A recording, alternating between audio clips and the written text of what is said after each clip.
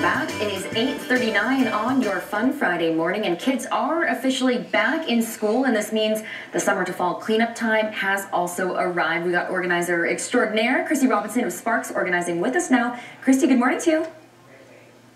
Good morning, Joelle. Always nice to see you, Christy. Okay, so we're going to jump right into it. You know, some people might be a little behind if they haven't done this yet, but let's talk coats first, because it seems to be kind of the bulkiest clothing rotation of the year. We had from hot to cooler temperatures. It is, and I like to encourage my clients. I have so many people that say to me, I don't have a lot of space in my home, but what we do is we make space in the home that works best for you. So this is just a simple, thick, um, shelf. We can put this in the basement, in the garage, and then we've got bins. So I like to place these on these bins. We've got everything labeled. Make sure you label because then you know exactly where it is, what it is, and that's in that bin. So the actual coat. So what I did is I wanted to have two just to kind of give you guys a visual. So here are six spring and fall coats. Mm-hmm.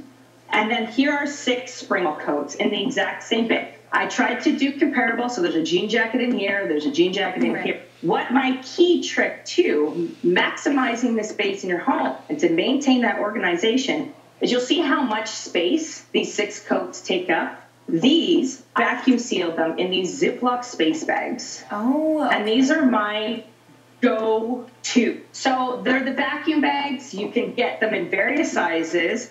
And then right here, I've got six bags, or six, sorry, all space bags in one container. But the thing is, is that I can literally add probably another 12 coats and I just have the one bin that I have to concern myself mm-hmm. in terms of coat rotation. I love that so much, Christy. And I've got a lot of puffy jackets, so they need to be just downsized a little bit. Now, kids need shoes for everything. I remember having some for gym class, some for walking to school, some that could get dirty, and some that couldn't, you know? So, how do you suggest parents organize this storage?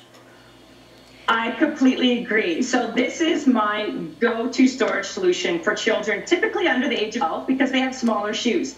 Honestly, I'm going to be very easy with it throw it in a bin. Make sure it's, you know, it can be something that's very aesthetically pleasing for home. You can have it this way. These are fantastic bags because they're waterproof on the inside. But then the kids can take their items, mm-hmm. throw them in the bin, and we could put that in our mudroom, maybe nice and tidy under a bench done. Yeah. It's out of the way. He's tripping on shoes when they walk in the door. Nice and accessible too for all heights here. Uh, we've run out of time, so we can't get to mittens and toques. But Christy, uh, say this is overwhelming for parents or someone like me that just needs to organize myself. Uh, we've got professionals like you that can help out. Like to say to people that what a professional home organizer is is we're kind of like a personal trainer for your home.